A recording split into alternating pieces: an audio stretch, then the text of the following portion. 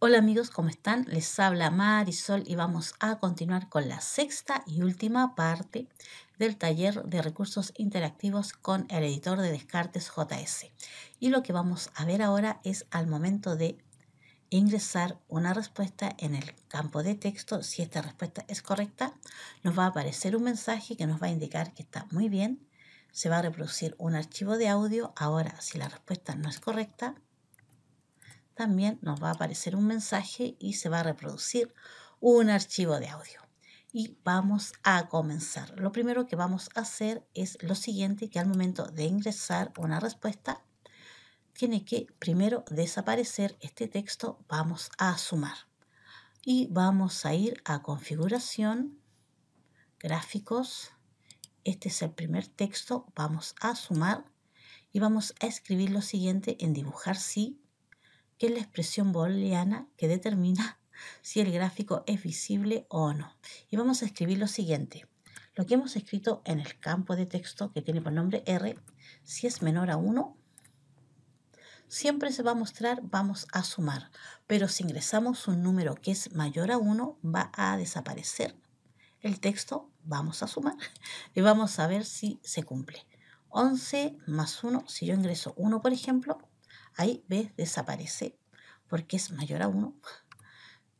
Y si ingreso la respuesta correcta, 11 eh, más 1 es 12. Ahora debería demostrarse el mensaje que lo hemos logrado. Vamos a ir a configuración y vamos a agregar un texto y vamos a escribir lo siguiente. Por ejemplo, puede ser, lo has logrado. Ahí lo has logrado y vamos a configurar el texto. Vamos a editar y para ello acá tenemos las propiedades. Tamaño de la fuente 50, negrita, color. Puede ser un color azul. Bueno, tú escoges un color.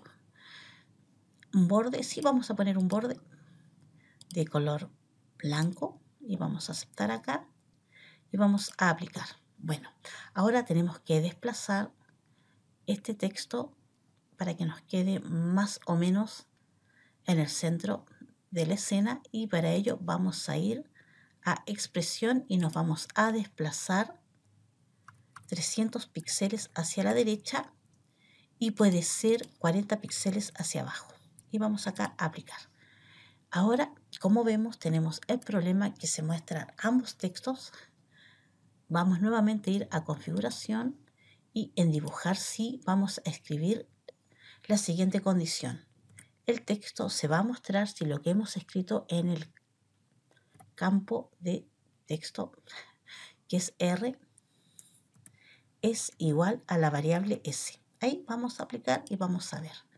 Eh, si se cumple, 8 más 1, eso es 9. Y listo.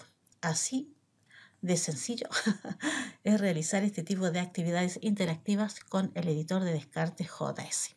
Y ya tenemos la primera parte. Ahora vamos a ir a configuración nuevamente y vamos a agregar otro gráfico, otro texto.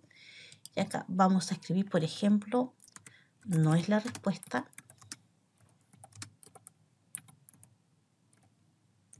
Ahí no es la respuesta.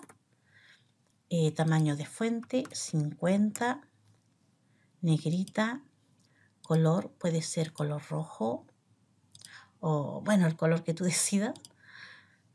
Eh, borde, sí, vamos a poner un borde. Eh, borde de texto, puede ser color blanco, el color que tú decidas y vamos a aplicar. Y ahí tenemos, no es la respuesta y lo vamos a desplazar también.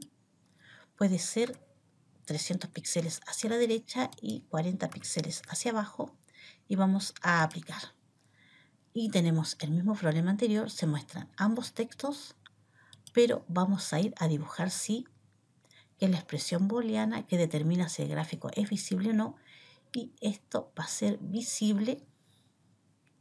Y vamos a escribir acá dos condiciones. Si lo que está escrito en el campo de texto R es distinto a la variable S, entre paréntesis, toda esta expresión, y si R es mayor o igual a 1. Tienen que cumplirse ambas condiciones para que se muestre el texto donde nos indica que no es la respuesta. Y vamos a aplicar. 15 eh, más 18, 32. A ver, ahí, no es la respuesta. Pero si es la respuesta correcta, a ver, vamos a escribir 33. Ahí entonces se muestra que lo hemos logrado y vamos a generar un nuevo ejercicio. Ahora vamos a agregar los archivos de audio y para ello, donde hemos guardado los recursos, acá la carpeta audio, tenemos este archivo por nombre correcto, formato MP3, y este otro archivo por nombre incorrecto, también formato MP3. Y vamos a configuración, a programa y vamos a agregar un evento. Acá tenemos el ID, que es el identificador, lo vamos a dejar como está. Y acción, vamos a seleccionar reproducir, ya que queremos que el audio se reproduzca. Ejecución, aquí alternar, que se reproduzca una sola vez. El parámetro es la ruta donde está el archivo y la carpeta se llama audio el nombre es correcto y el formato MP3, aquí es cuando la respuesta es correcta y la condición para que se ejecute es la siguiente. Si R, el campo de texto, es igual a la variable S y vamos a aplicar. 18 eh, más 8 o 8 más 18, eso es 26. A ver, veamos si... Y ahí entonces se reproduce el archivo de audio y un nuevo ejercicio. Ahora vamos a agregar un nuevo evento. ID es 6, lo vamos a dejar como está. Acción también es reproducir. Ejecución, alternar. Parámetro, la carpeta, en este caso la ruta.